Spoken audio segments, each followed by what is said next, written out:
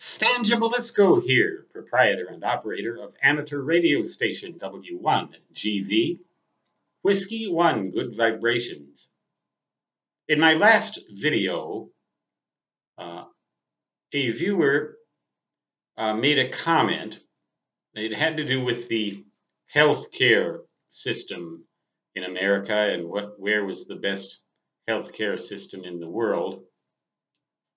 Uh, and uh, but the comment was largely devoted to questions about random wire antennas.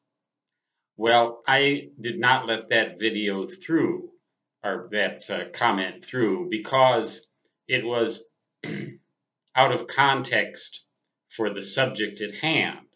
Not because there was anything wrong uh, with the comment. In fact, that's the purpose of this video is to attempt to give you my ideas about a random wire antenna, the way I would do it.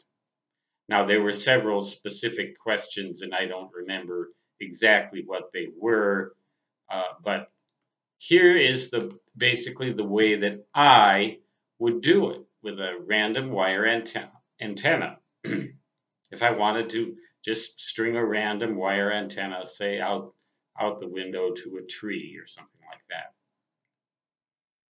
I would use a transmatch, and you don't need a, any special kind of transmatch because uh, it's an unbalanced antenna.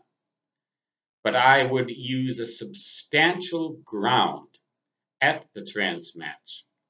Uh, and that means more than just an electrical outlet. That's not good enough if you really want to ground uh, your station, uh, where they, especially if it's an end-fed random wire and you have a transmatch to feed it with, you want to ground the transmatch to a substantial ground right at the feed point where it goes out the window. Um, a, just a ground rod is good, but a ground rod with a whole lot of radials and possibly salt in the earth if you don't mind killing your plants around the well I, I don't think I'd do it next to a, a building. I don't think I'd put salt next to the foundation of a building.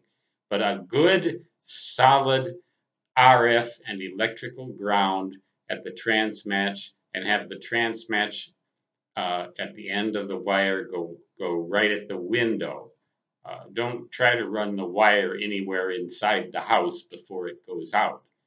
Locate the transmatch in such a place that it can go right out the window uh, to wherever it may decide to go. Then, of course, being a random wire, there's no particular length you need to use, but it should be as high as possible and I would say as long as possible, but not. It, it depends upon the frequency uh, and it depends upon whether you want the antenna to have directional characteristics. And uh, the this can get quite complicated, uh, and I don't think that I have anywhere near enough time. I know I don't have anywhere near enough time to answer such questions in this video. Uh, the basic idea, though, involves uh, just get that thing up as high as you can and ground the station, the transmatch end, right at the feed point at the window where the wire goes out. Use this heavy gauge, reasonably heavy gauge wire, and it should be at least a half a wavelength long at the lowest operating frequency that you intend to use. Uh, it doesn't have to be straight. Uh, it's best if it be reasonably straight, but it doesn't have to be.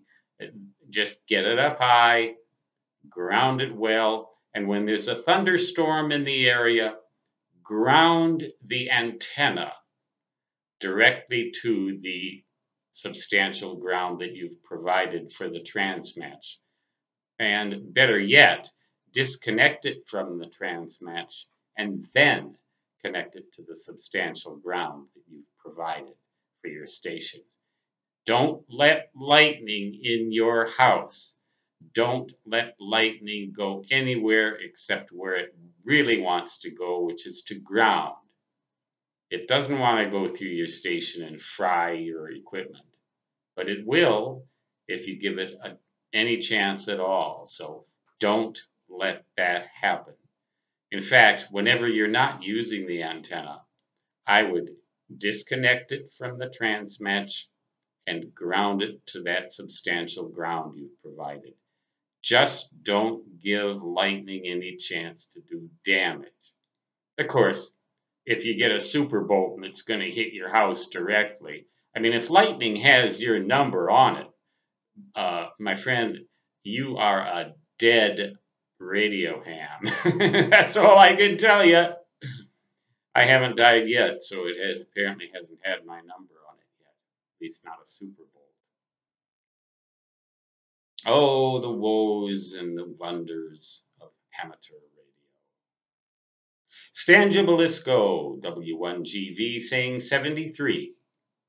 And so long, which on any antenna, when it's connected or not, no matter what kind of wire you use or metal you use, shall always translate to da da da da da da.